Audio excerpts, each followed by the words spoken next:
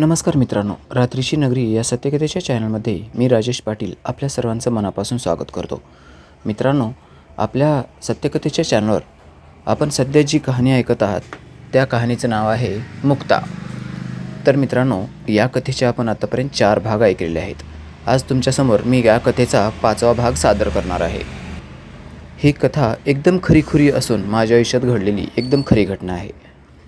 तर मित्रांनो आता मी तुमचा जास्त वेळ न घालवता आजच्या कथेला थेट सुरुवात करत आहे.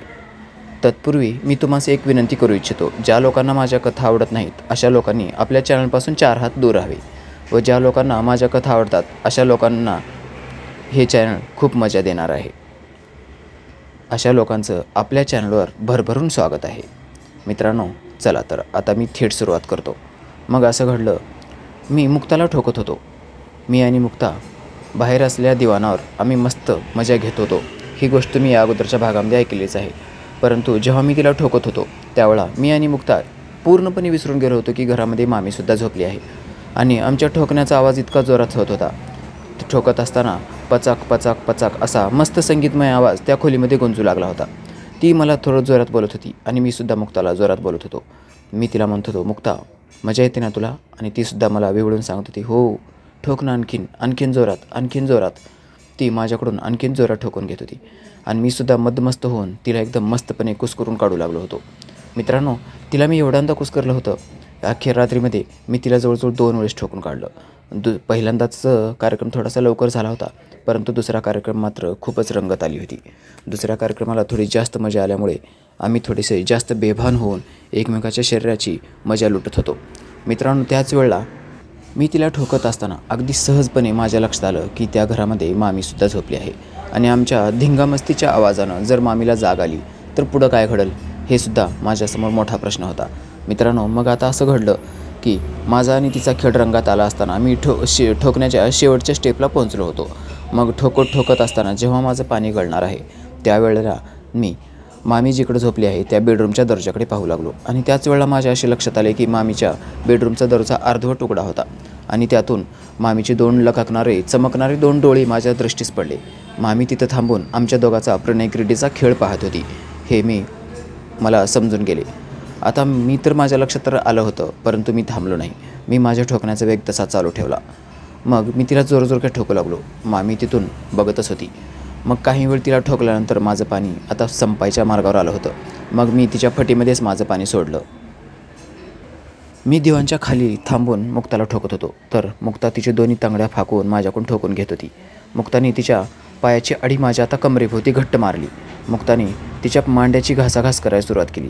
ती मला आता घट्ट बिलगली होती. तिचंसुद्धा पाणी सुटायला आलं होतं.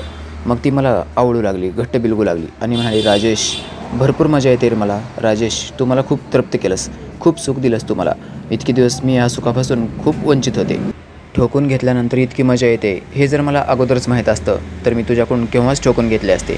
इतके दिवस मी अशी तरसत बसलेच नसते. माझा रस तुला चाकाला मी केव्हाच दिला असता? मित्रांनो तिच्या बोलण्यावरून माझं अंग मोहरून येत होतं. मला खूप मजा येत होती परंतु माझ्या मनामध्ये जी उत्कंठा लागली होती. ती मामीने आमच्या दोघांना अशा अवस्थेत पाहिलं होतं. मी तिला ठोकतोय. माझ्या अंगावर कसलेच कपडे नव्हते.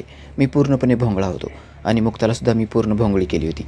आता मुक्ताच्या अंगावर कसलेच कपडे नव्हते. मुक्ता माझ्या शरीराला लुचू लागली होती. जसं जसं मुक्ता माझ्या शरीरासोबत खेळत होती तसं मी सुद्धा तिच्या शरीरासोबत खेळत होतो.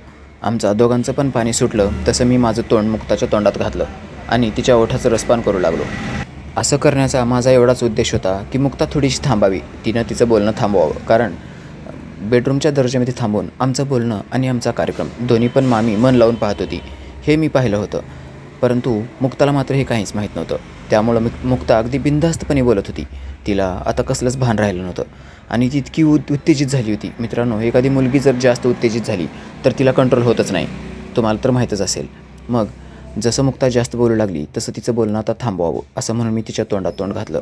परंतु मुक्तानं माझं तोंड बाजूला ढकललं आणि ती माझ्यासोबत परत बोलू लागली. ती मला म्हणाली राजेश कितीतरी दिवसापासून या सुखासाठी मी तरसले होते.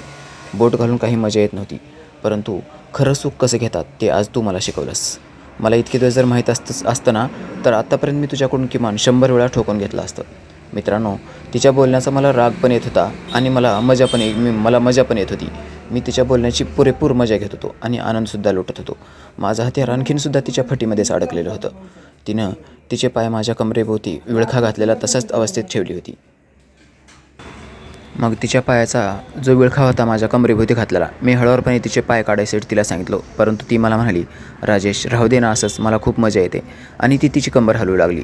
तिचं घमेलं खाली हलू लागलं होतं. मग मी तिला म्हणालो मुक्ता मला पण वर येऊ दे ना मला इथे किती वेळ थांबवणार आहेस? तिला तिची चूक उमजली. तिला वाटलं ती चुकते बरोबर आहे ती माझं बरोबर आहे. मग ती मला म्हणाली माझ्यावर झोपतोस का? मग मी म्हणालो हो का नाही झोपणार? मग तिने मला उरावर घेतले. मी त्या दिवाणवर चढलो आणि मुक्ता जिथं झोपली होती. तिच्या उरावर मी जाऊन पालता झोपलो. माझं हत्यार आणखीनसुद्धा तिच्या फटीवर चिटकलं होतं. मी उठून वर चढत असताना माझं हत्यार तिच्या फटीच्या बाहेर तर निश्चितच निघालं होतं. परंतु जसं मी तिच्या उरावर झोपलो तसं माझं हत्यार तिच्या फटीवर परत चिटकलं. परंतु ते फटीच्या मध्ये गेलं नव्हतं वरच होतं. मग ती माझ्या हा हळूहळू माझ्या हत्याराला हात फिरू लागली आणि आपल्या फटीमध्ये कोंबायचा प्रयत्न करू लागली. माझ्या हत्याराची साईज भरपूर मोठी असल्यामुळं आणि तिची फटसुद्धा चांगली ओली बुळबुळीत झाली असल्यामुळं तिला ते करायला सोपं पडत असावं. मग मी थोडीशी माझी कंबरवर उचलली आणि माझं हत्यार तिच्या हातात दिलं. मग तिनं माझं हत्यार हळूवारपणे तिच्या फटीमध्ये घातलं. मग मी मुक्ताच्या उरावर पडून तसाच थोडेसे माझे डोळे फिरवले आणि माझी मान वळवून मी बेडरूमच्या दर्जाकडे पाहू लागलो. तशी मुक्ता मला म्हणाली तिकडं काय बघतोयस तू मगापासून? मी बघते तुझं लक्ष माझ्याकडं नाहीस. तू सारखा सारखा बेडरूमच्या दर्जाकडे काय बघतोयस? अरे मामी उठणार नाही. मामी शांतपणे झोपली आहे. तू तुझा कार्यक्रम चालू राहू दे. आता मी ह्या वेडीला कसं सांगणार? मामीनं आपला सगळा कार्यक्रम बघितला आहे म्हणून. मग मी तिला म्हणालो असं काही नाही. मी सहज बघतोय. मी तिला मामीनं बघितलं आहे असं काहीच बोललो नाही. मग जसं मी परत बेडरूमच्या दर्जाकडे माझी नजर वळवली तसं पाहिलं बेडरूमच्या दर्जात आता कुणीच नव्हतं. तो दर्जा मात्र तसाच अर्धवट उघडा होता. मग मी माझं हत्यार तिच्या फटीमध्ये खाली टेकवलं आणि माझी कंबर तिच्या कमरेवर टेकवली. मित्रांनो माझं हत्यार आता ति तिच्या फटीमध्ये होतं. त्यामध्ये थोडी उत्तेजना कमी होती. परंतु माझं हत्यार तिच्या फटीमध्ये असल्यामुळं तिला आणखीन मजा येत होती. ती तिच्या मांड्यात एकमेकाला घासू लागली. तसं माझ्या हत्याराला आतमध्ये मजा येऊ लागली. माझं हत्यार तिच्यामध्ये ताटू लागलं. आता सर्वत्र एकदम चिपचिप झालेलं होतं. सर्वत्र पाणी सांडलेलं होतं. मग मी तिला म्हणालो मुक्ता थोडंसं तुला थंड नाही का काग लागत? तशी ती मला म्हणाली हो लागते ना. मग मी तिला म्हणालो थोडंसं थांब. मी बाजूला होतो.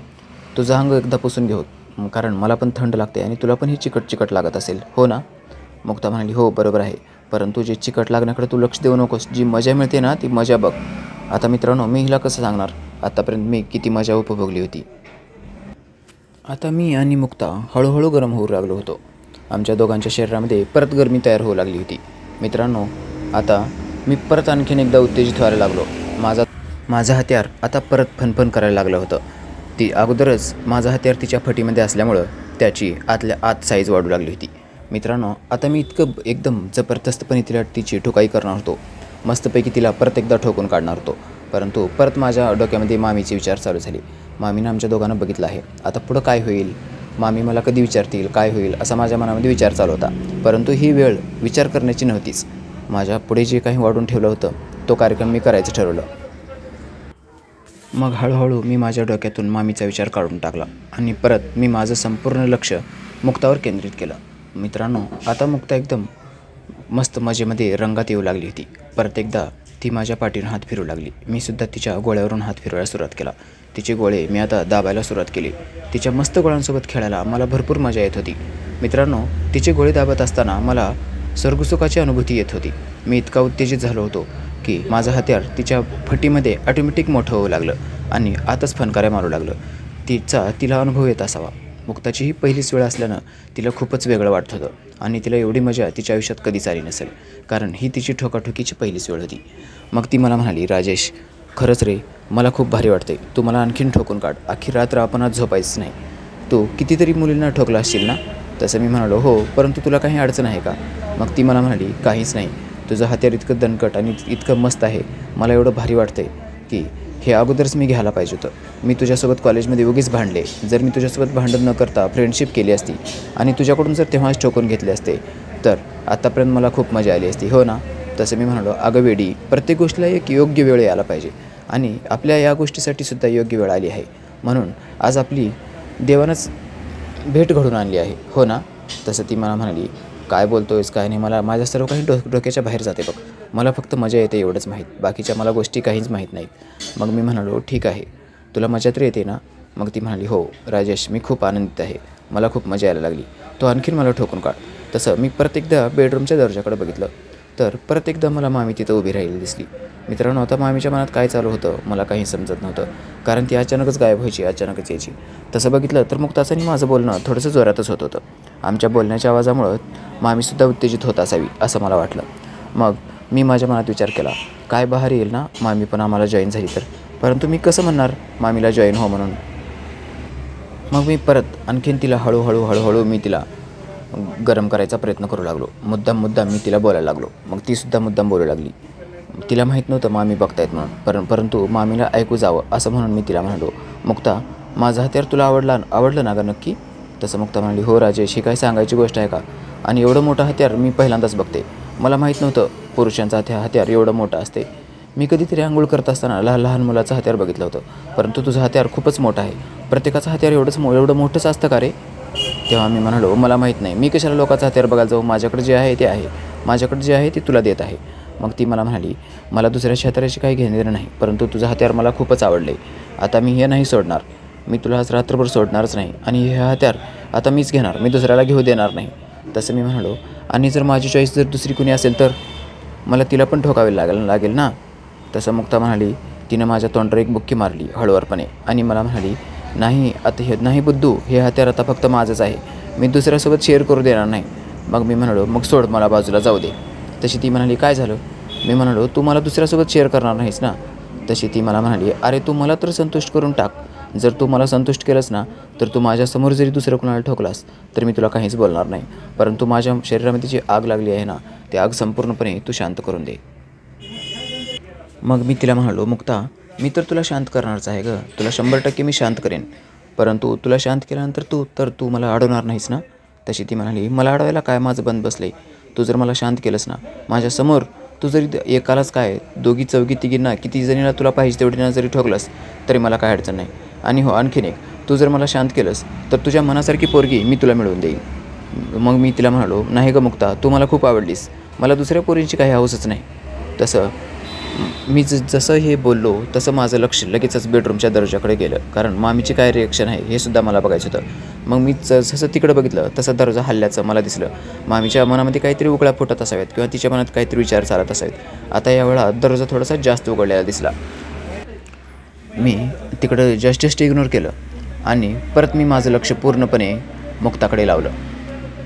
मित्रांनो आता योग्य वेळ झाली होती. माझं हत्यार पूर्णपणे त्याच्या मूळ आकारात आलं होतं आणि ते खूप फडफड करू लागलं होतं.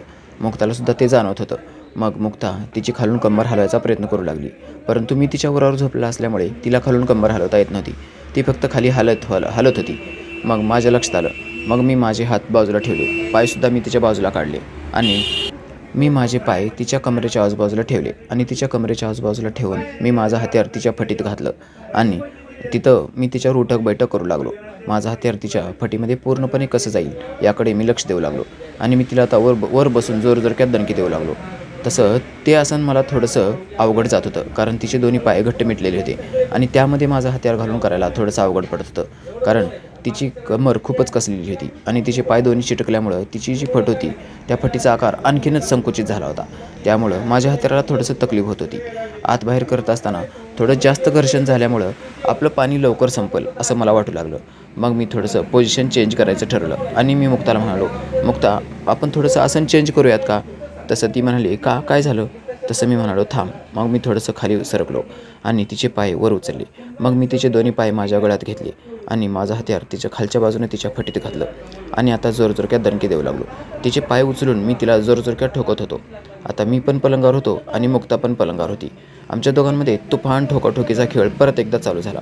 तो पलंग जोरजोरक्यात कर कर कर कर वाजू लागला. आता आमच्या दोघांचा जो ठोकाठोकी होती त्यामध्ये सुद्धा पचक पचकचा आवाज परत चालू झाला. आता आमच्या दोघांमध्ये ठोकाठोकीचा खेळ असल्याने पचक पचकचा तर आवाज होताच पण मध्येच आणखीन एक आवाज वाढला हा पलंगाचा कुरकुरचा. त्यामध्ये पंख्याची थंडगार हवा. आम्हाला आणखीनच जास्त आल्हादायक वाटत होती. मित्रांनो या गोष्टीमुळे आम्हा दोघांना किती आनंद होती मिळत होता? या गोष्टीची तुम्ही कल्पना करू शकणार नाही. तुम्ही फक्त इमेजिन करा आम्ही आमच्या दोघांमध्ये कसा कार्यक्रम चालू असेल. आणि आमच्या दोघांची तर ठोकाठोकी चालूच होती. परंतु आणखीन एक फट तिकडे फडफड करत होती ती म्हणजे मामीची. आता या पुढच्या कथेमध्ये मी तुम्हाला सांगणार आहे मामीसोबत माझं काय घडलं. त्यानंतर मुक्ताने मला सहकार्य केलं की तिने विरोध केला.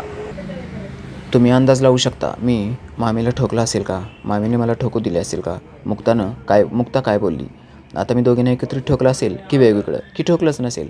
ह्या सर्व गोष्टीची या सर्व प्रश्नांची उत्तरं मी तुम्हाला पुढच्या भागामध्ये देणार आहे. मित्रांनो सदरील कथा खूपच रोचक मोडून येऊन थांबली आहे. तुम्हाला ही कथा नक्कीच आवडली असेल. आणि या कथेला तरी एक लाईक बनतोच नाही यार. एवढी मेहनत करून मी तुमच्यासमोर स सर्व काही सत्यकथा सांगत असतो. तर तुम्हाला लाईक करायला काही पैसे लागत नाहीत. मित्रांनो चॅनलला सबस्क्राईब करणं मोफत आहे. आणि कथेला लाईक करणंसुद्धा मोफत आहे. तुम्ही जर कथेला लाईक केलं चॅनलला सबस्क्राईब केलं तर मला आणखीन आनंद होईल. आणि मी आणखीन यापेक्षा व्ही आय पी कथा तुमच्यासमोर मांडण्याचा प्रयत्न करीन. चला तर नेहमीप्रमाणे तुम्ही हलवत राहा ठोकत राहा मस्त कार्यक्रम करत राहा. मित्रांनो आयुष्य खूप सुंदर आहे. प्रत्येक कथेच्या शेवटी मी हे सांगत असतो. आयुष्य खूप सुंदर आहे. आयुष्याचा पुरेपूर वापर घेत करत चला आणि पूर्ण मजा घेत चला. चला तर मित्रांनो भेटूया आता आपण कथेच्या पुढील भागामध्ये. बाय बाय मित्रांनो.